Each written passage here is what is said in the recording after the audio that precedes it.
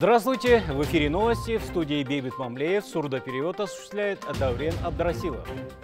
Депутаты Сената парламента на пленарном заседании одобрили в двух чтениях правительственный законопроект о масс-медиа. По словам члена комитета по социально-культурному развитию науки Айгуль Капаровой, в закон, в закон добавлено 8 различных инноваций. К примеру, вводится понятие информационный суверенитет. Еженедельный объем телерадиопрограмм на казахском языке предлагается увеличить поэтапно с 50 до 60 процентов к 2027 году. До 2027 года предлагается поэтапно сокращать ретрансляцию иностранных телерадиопередач в телерадиоэфире с 20 до 10%. Также Айгуль Капарова отметила, что слово «СМИ», встречающееся в действующем законодательстве, будет заменено на масс-медиа. Стоит отметить, что новым законом введены нормы по обеспечению правовых гарантий профессиональной деятельности журналиста. До конца года город Текели будет полностью газифицирован. Тогда же должен быть окончательно решен и вопрос с питьевой водой. Какие меры предпринимаются в этом направлении, рассказали Аким области Жецу Бейбуту и Сабаеву. Глава региона посетил город Горняков и ознакомился с ходом строительства социальных объектов. В этом новом 40-квартирном доме совсем скоро зазвучит детский смех. Строительство арендного жилья в течение года вела компания «Сем Шогут Курлыс Сервис». На возведении дома с сейсмоустойчивостью до 9 баллов было выделено 780 миллионов тенге. Сегодня работы практически завершены, и новые светлые просторные квартиры ждут своих жильцов. Данное здание уже закончено. Деньги выделены были по республиканскому, с республиканского бюджета.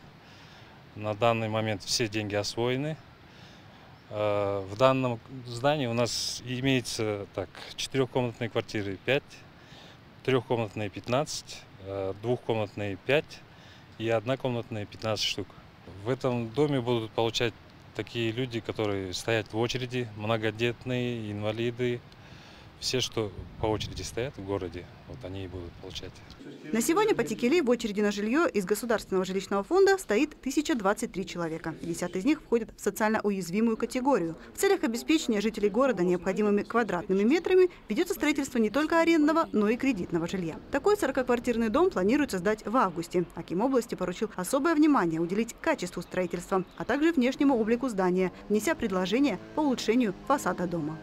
мынаның сыртын жидкий травертинмен жасайық біріншіден Давайте отделаем его снаружи жидким травертином. Во-первых, такое декоративное акриловое покрытие будет хорошо смотреться. Во-вторых, будет дольше держаться. Скорее всего, в Талдыкургане мы тоже будем применять такие технологии. Либо фасадная кассета, либо фибробетон, либо сплошной травертин. Тогда внешний вид дома будет сохраняться в хорошем состоянии как минимум 10-15 лет.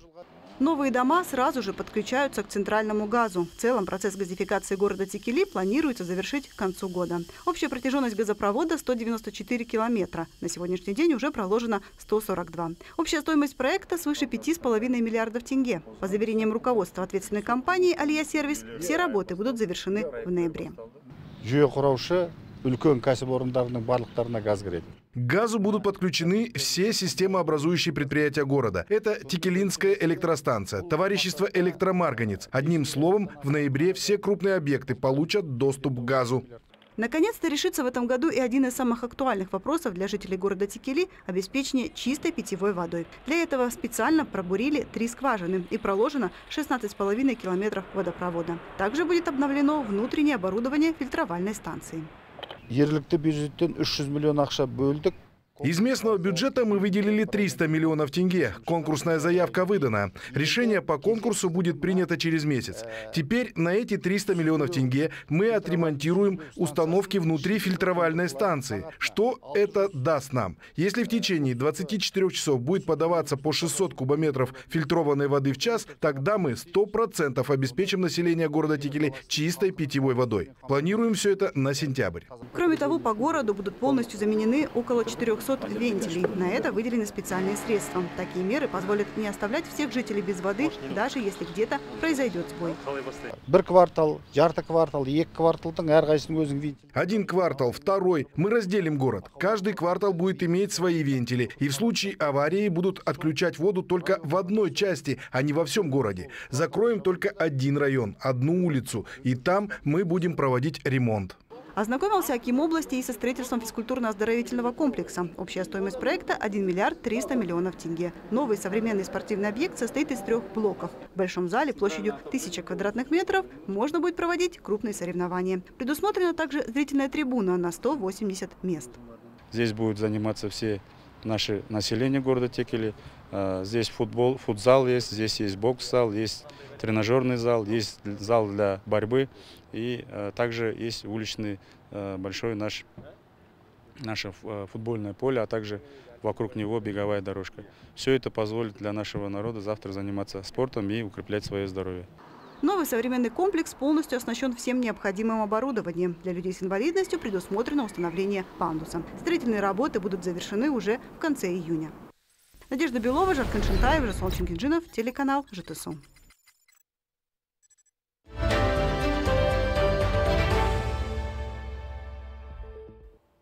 Жители микрорайона Жастар-1 дробь 1 города Талукурган массово жалуются на отсутствие питьевой воды. Согласно их заявлениям, в микрорайоне, который был построен 6 лет назад, так и не была развернута необходимая инфраструктура. Лишь в прошлом году после многочисленных обращений жителей было установлено уличное освещение. Однако сроки проведения водопровода и предоставления доступа к питьевой воде до сих пор остаются неизвестными. Подробности в нашем материале.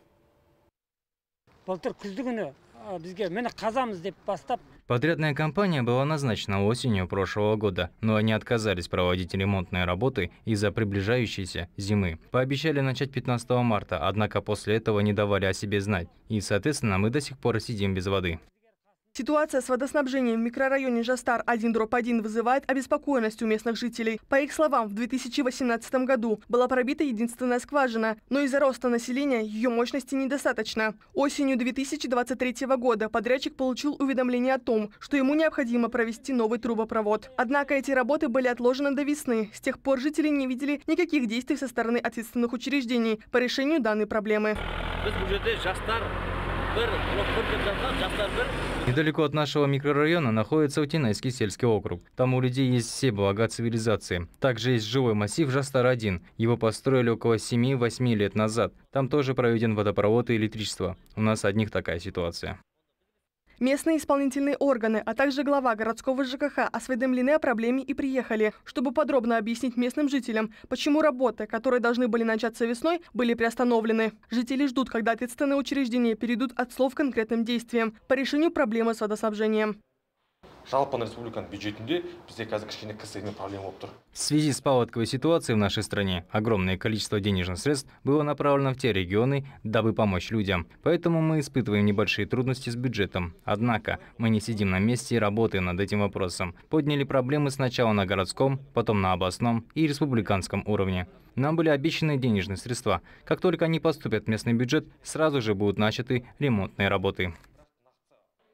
Руководитель отдела городской ЖКХ и жилищной инспекции Алмаз Барлыбеков провел встречу с жителями, чтобы объяснить причины задержки запланированных на весну работ. Он сообщил, что проектно-сметная документация по обеспечению населения питьевой водой была разработана и успешно прошла государственную экспертизу. Жителям было разъяснено, что необходимые документы готовы, но сейчас ожидается поступление средств из республиканского бюджета. После получения финансирования работы начнутся и, как заверили местные власти, будут завершены в течение 4-5 месяцев.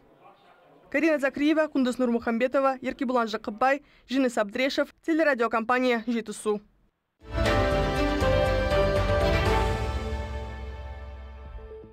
Сладкая польза. Селекционным пчеловодством занимается житель Сарканского района Сергей Питенко. Сегодня на стационарной пасеке фермера порядка 600 ульев. В каждом обитает около тысячи трудолюбивых жужжащих насекомых. Однако производят здесь не только мед, но и другие продукты пчеловодства. Полезную продукцию реализуют в Казахстане и экспортируют в зарубежные страны. В чем особенность селекционного пчеловодства узнавала наша съемочная группа. Сергей Петенко – потомственный пчеловод. Любимым делом он занимается всю жизнь. Родился в семье пчеловодов и, следуя примеру отца, который посвятил производству меда более 30 лет, решил связать судьбу с этим призванием. И хотя выбор профессии был непрост, чашу весов перевесила любовь к природе. Пока была учеба, не было такой возможности. Наблюдал, помогал, но профессионально не, не, не занимался. Вот на протяжении уже 8-6 лет, как не стало моего отца, это самый главный мой учитель я начинаю, начал заниматься этим сам. У меня есть диплом, я учился непосредственно в России, в, Питер, в Подмосковье, в Волоколамске. У меня есть диплом, да, специализированный пчеловод, институт пчеловодства. Ну, не знаю, я вот много пробовал себя в разных отраслях, в городе, даже на госслужбе, но я нигде не получал удовольствия от работы. А здесь, вот как сами видите, работаешь на природе, свежий воздух. Плюс это очень полезно. В мире насчитывается более 20 тысяч пород пчел. Среди самых медоносных – среднерусская лесная, серая горная кавказская и карника. Это европейская порода, полученная путем скрещивания итальянок с кипрским трутнями. В настоящее время известно 7 линий данной породы. Среди них самая трудолюбивая, медоносная и совершенно неагрессивная – линия Виктория. Именно ее и разводят на пасеке Сергея Питенко. Материал пчеловод привозит из Европы и распространяет среди местных коллег. У меня селекционная пасека, то есть я занимаюсь искусственным оплодотворением пчеломаток. Я занимаюсь тем, что не только собираю мед, то есть я произвожу маточек, произвожу пчелопакеты, также произвожу улья. Плюс у нас в городе магазин большой по пчелооборудованию, пчелоинвентарю. То есть мы пытаемся захватить полностью весь рынок, чтобы человек пришел ко мне в магазин и мог, ну, ты можешь прийти в магазин, а могу тебя, по сути, сделать за один день пчеловодом, объяснить тебе все, дать тебе все, что тебе нужно и ты можешь смело заняться этим. Плюс здесь у нас также есть цех по производству вощины. То есть мы перерабатываем воск и делаем из нее вощину. Свою продукцию реализуют не только на территории Казахстана, но и экспортируют за границу – в Европу, Китай и Объединенные Арабские Эмираты. Качество гарантирует высокий спрос. Учитывая, что пасека стационарная, при хозяйстве специально выращивают медоносные растения. Под это отведено 500 гектаров земли. Всего на пасеке находится около 600 ульев. Каждая пчелиная семья за сезон может производить от 50 до 100 килограмм меда. Но поскольку Сергей занимается разводом пчеломаток, за летний период здесь получает около 10 тонн меда. Но зато Какого? Преимущество меда, самое главное преимущество, это ваш иммунитет. То есть мед – это очень хороший иммуностимулирующий продукт.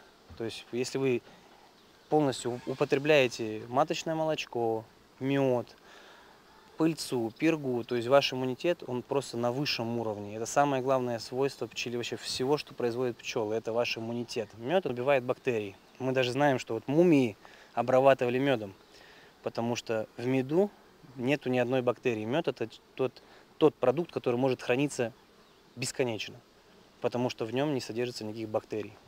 ЖТСУ – аграрный край. Благодаря благоприятным погодным условиям заниматься пчеловодством здесь весьма удобно. Тем более, что в регионе произрастает огромное разнообразие трав. В Сарканском районе имеется 21 большая и малая пчелиная фермы. По словам специалистов, данное направление сельского хозяйства становится все более популярным. В наших сельских округах пчеловодством занимаются немало крестьян. Они приходят к нам, интересуются, есть ли какая-то поддержка государства, как получить кредит. Мы проводим разъяснительную работу, в частности, как принять участие в программе АУ Аманата. Пчела – одно из самых трудолюбивых насекомых. По наблюдению специалистов, чтобы сделать 1 килограмм меда полосатой труженицы, необходимо собрать нектар с 19 миллионов цветов. Медоносные пчелы играют очень важную роль в жизни человечества. Они помогают опылять растения, а продукты пчеловодства используются во многих сферах – пищевой промышленности, косметологии и, конечно, медицине. Ведь о пользе этой натуральной продукции не понаслышке знает каждый житель на Земле. Надежда Белова, Ернур Медет, Ержан Дусен, телеканал ЖТСУ.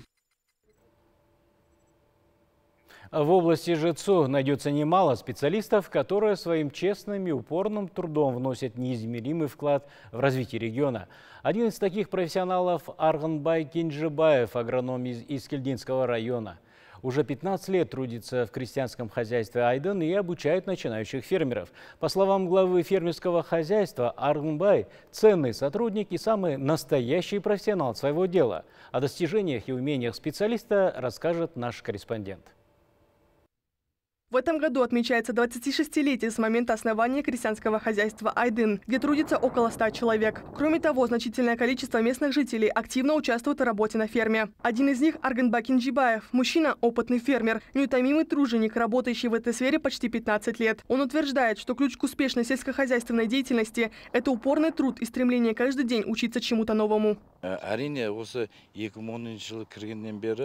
Әрине, осы 2010 жылы кіргеннен бері В 2012 году я начал свою работу на фермерском хозяйстве «Айдын». Спустя три года упорного труда меня заметил глава КХ и предложил более значимую и высокую должность. Так я стал бригадиром и после этого смог обучать молодых людей, которые только начали свой путь в этой сфере. Любой из них может обратиться ко мне за советом, за просьбой или помощью. Я считаю, что каждый опытный специалист должен помогать молодежи. Только так мы можем сохранить наследие и передать знания. Трудолюбие Арганбая Кенжибаева служит настоящим примером для молодежи и коллег. Благодаря накопленному опыту за многие годы он передает секреты успешного выращивания урожая молодым фермерам. Стоит отметить, что крестьянское хозяйство Айдын специализируется на выращивании масличных бобов, озимой кукурузы, ячменя и пшеницы. Однако основной культурой является свекла. На площади в 3000 гектаров, принадлежащей хозяйству, в текущем году было запланировано засеять полторы тысячи гектаров сахарной свеклы, что на 100 больше, чем в прошлом году. Я очень рад, что моим коллегой является такой профессионал. Молодежь тянется к нему, просит помощи или совета. Вместе с ним развивалось и крестьянское хозяйство. Сейчас одно достаточно большое, много новых фермеров, только начинают здесь свою работу. Хотелось бы отметить, что Аргамбай талантливый педагог и превосходный агроном. У него свой собственный метод по выращиванию качественного урожая. Он научил меня многому, и я очень признателен этому человеку.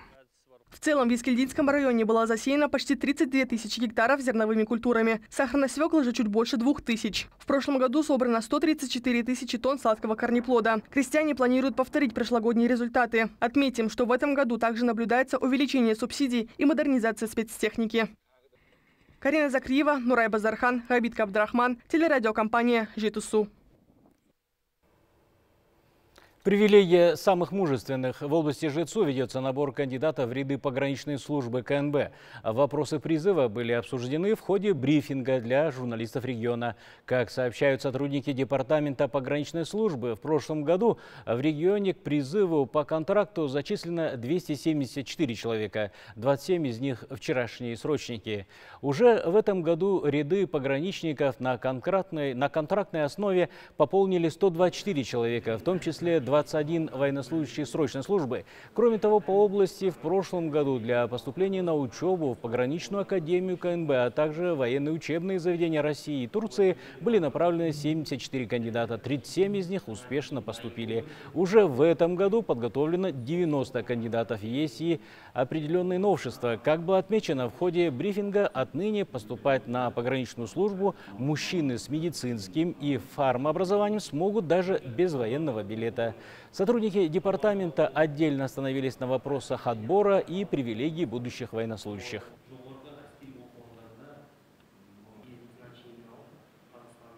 Привилегии воинской службы э, – это стабильная зарплата, жилищные выплаты, э, ранний выход э, на пенсию в зависимости от выслуги лет, бесплатное получение вещевого имущества, бесплатно получение медицинское, санаторно-курортное лечение, возможность получения высшего образования у кого, не, у кого нету, которых э, государство компенсирует 50% оплачивает. Для тех, которые служили 8 календарных дней, календарных лет э, на должностях э, сержантского рядового состава. У всей молодежи есть все возможности. Не бойтесь, дерзайте, приходите. Все возможности в ваших руках. В Куксусском районе состоялся семинар-тренинг, посвященный развитию службы медиации. В мероприятии приняли участие представители этнокультурных объединений духовенства и молодежного штаба Ассамблеи народа Казахстана. Медиация – это особый вид переговоров, при котором нейтральный посредник помогает сторонам в конфликте найти взаимовыгодное решение. В настоящее время в области ЖЭЦУ действует один кабинет медиации и более 15 площадок. Более 100 общественных активистов и два профессиональных профессиональных медиатора прошли специальное обучение. Организуются различные мероприятия по предупреждению и разрешению конфликтов. Следующая встреча в рамках развития службы медиации запланирована в Панфиловском районе. Председатель Ассамблеи народа Казахстана Касым Жумар Токаев отметил, что медиация является одним из самых действенных способов предотвратить межрасовые розни. Поэтому мы организовываем такие обучающие семинары для членов этнокультурных общественных объединений два раза в год. Мы активно поднимаем эту тему и развиваем ее, приглашаем медиаторов республиканского уровня.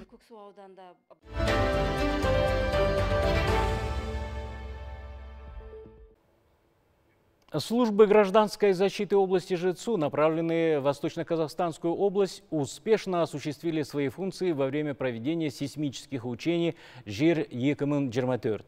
Наши земляки, преодолев 940 километров до территории Зайсана, провели работу по подготовке к чрезвычайным ситуациям и внесли свой вклад в развитие общей культуры безопасности. Главный штаб командно-штабного учения жир екамын Джерматерт, охвативший все регионы страны, разместился в городе городе Усть-Каменогорск.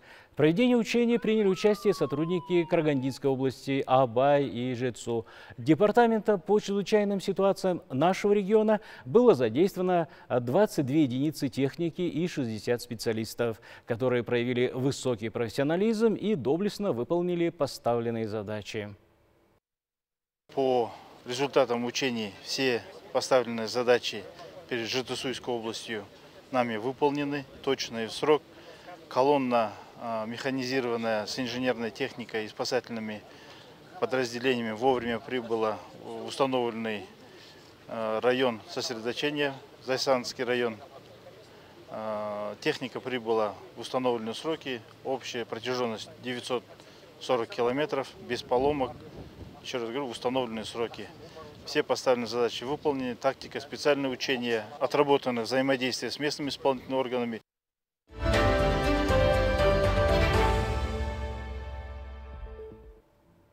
В Искельдинском районе состоялся турнир по греко-римской борьбе, посвященный Алимхану Тумбаеву, заслуженному тренеру, многократному лауреату премии СССР.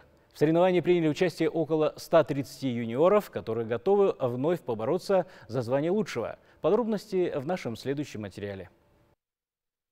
На турнире по греко-римской борьбе среди юниоров приняли участие 8 команд, каждый член которой горит любимым видом спорта. По словам судей, на соревновании каждый борец продемонстрировал оточенные приемы и действия, которые говорят о упорных тренировках. Болельщики отмечают, что в зале стояла напряженная атмосфера соперничества. Никто не хотел уступать и из последних сил старался вырвать победу из рук противника. Алимхан Тумбаев мой тренер, и благодаря ему я сегодня участвую на этом масштабном турнире. Он научил меня всему, что я знаю и умею умею. Надеюсь, что стану победителем. Уверен, что в ближайшие годы уровень соревнований будет только расти, открывая новые возможности для спортсменов и поднимая планку еще выше. Турнир, посвященный выдающемуся спортсмену и тренеру Алимхану Тумбаеву, проводится уже второй раз. Если в прошлом году он охватил лишь районы, то в этом его масштабы выросли до регионального уровня. Организаторы считают, что подобные соревнования играют важную роль в жизни юных борцов, помогая им развивать спортивные навыки.